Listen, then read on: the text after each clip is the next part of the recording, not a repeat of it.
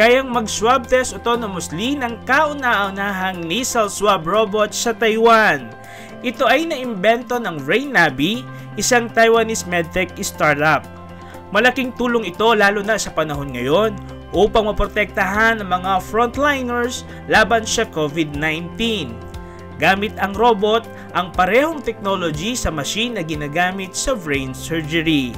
Bukod dito ay may facial recognition din ito upang malocate ng tama ang posisyon ng nostril at lalim ng nasal canal.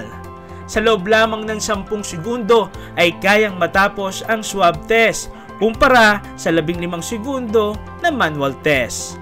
Sa kasalukuyan ay aprobado na ito ng Taiwan Ministry of Health and Welfare para sa human clinical trial. Paulo Dasal, UNTV News and Rescue, Taiwan. Diyos ang aming sandigan, serbisyo publiko ang aming pinahalagahan.